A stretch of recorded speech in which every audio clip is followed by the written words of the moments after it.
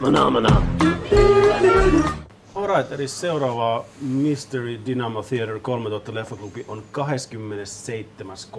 keskiviikkona.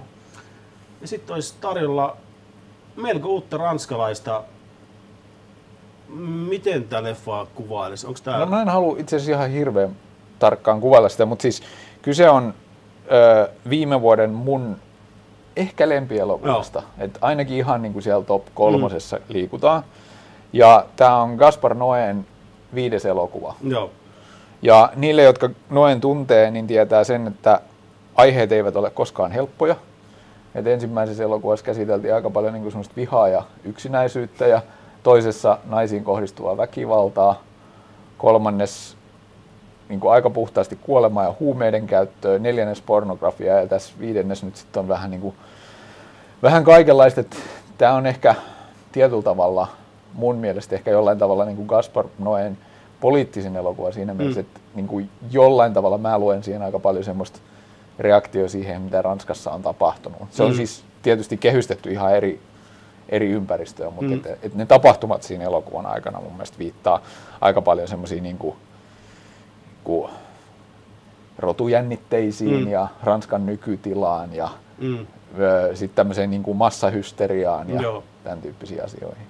Joo, tosiaan mä itse mä oon nähnyt tämän leffan vain kerran ja tää on kyllä siis sillä siis tää on periaatteessa täydellinen mun mielestä tämmönen niinku baari, baarissa katsotaan leffa ihan vain jo sen takia, että mä olettasin, että No siis tää on siis jotenkin niin sopiva siihen ympäristöön, koska tää kuvaa bileitä tai semmoista niin kuin biletilannetta.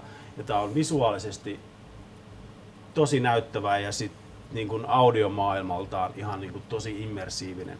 Joo, Et, mahtavaa uutta ja vanhempaakin tota, no niin, ranskalaista Joo. ja, ja amerikkalaista klubimusaa, se oli paljon taustalla. Ja tosi hieno, visuaalisesti tosi tosi hieno ja todella siis niin kuin teknisesti ollut todella vaativa, vaativa tota, no, niin kokonaisuus.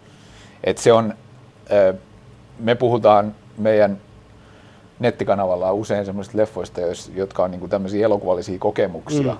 niin tämä on aika pitkälti sitä, että et, et tosiaan niin kuin, juoni voi olla aika riisuttu, mutta mm. sitten se, että millä tavalla se on toteutettu, niin ehdottomasti semmoinen elokuvateatterityyppinen elokuva. Joo, siis tosiaankin.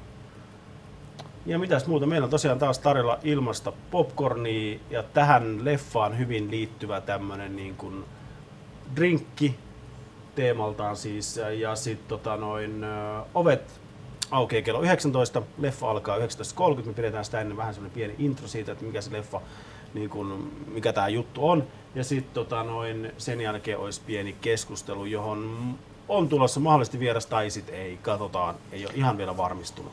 Tuossa videon alla on sitten linkki elokuvan traileriin, josta tämä kyseinen juomakin hyvin selvästi tulee esille. Ja, ja tota noin, niin, niin, eli jos haluaa niin kuin vielä enemmän etukäteen tutustua tähän visuaaliseen ilmeeseen ja minkä tyyppisestä elokuvasta on kyse, niin voi katsoa tuon trailerin tuosta alta. Mutta tosiaan niin kello 19 ovet, 19.30 leffa, pari screeniä, baari äänentoisto.